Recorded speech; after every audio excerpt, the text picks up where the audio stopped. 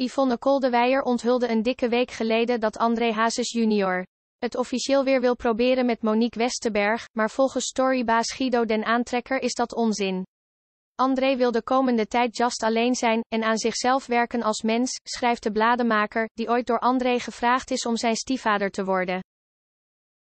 Guido stelt dat Yvonne onzin uitkraamt. Toen hij vorige week een paar keer bij zijn zoon op bezoek was, struikelden de online roddelplatforms over elkaar heen om te kunnen roepen dat het toch weer aan is met Monique een situatie die ze wekelijks afkondigen in de hoop ooit nog eens gelijk te krijgen. Van blijven slapen bij Monique is echter geen sprake, aldus Guido.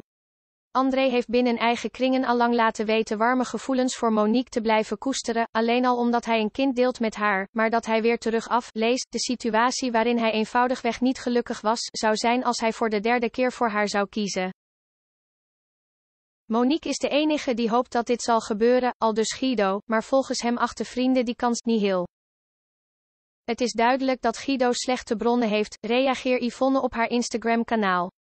André is op vakantie in Amerika en als hij terugkomt gaat hij rustig weer opnieuw zijn leven opbouwen met Moon.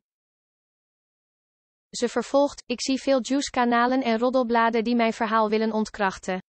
Dat komt omdat ze de verkeerde bron hebben. Sorry, maar je kan alleen goed juicen als je van alle spelers de motieven kent. André en Monique willen dit namelijk nog even geheim houden, weet Yvonne.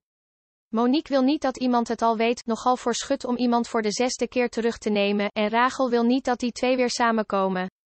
Vandaar dat je af en toe wat tegenstrijdige verhalen voorbij ziet komen.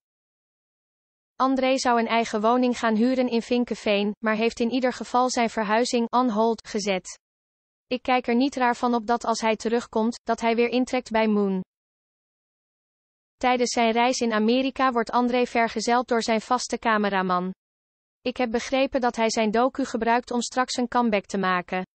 André blijft André. Hij kan echt niet zonder onze aandacht, want hij heeft geen eigen identiteit, al dus Yvonne. Van een burn-out is nog steeds geen sprake.